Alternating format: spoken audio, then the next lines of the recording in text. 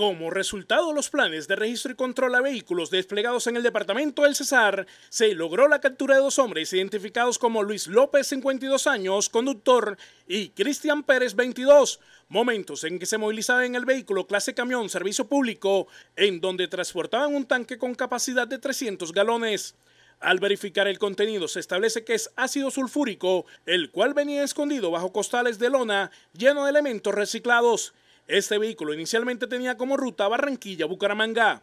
Es de anotar que el ácido sulfúrico sirve para la producción de cocaína. Asimismo, se da inicio a una investigación que permite establecer cuál es la organización que está detrás del transporte de estas sustancias. De acuerdo con las investigaciones preliminares, el ácido era transportado por este corredor vial, ya que la ubicación estratégica conecta el Catatumbo con la costa norte del país para la compra ilegal de insumos químicos para el procesamiento de narcóticos.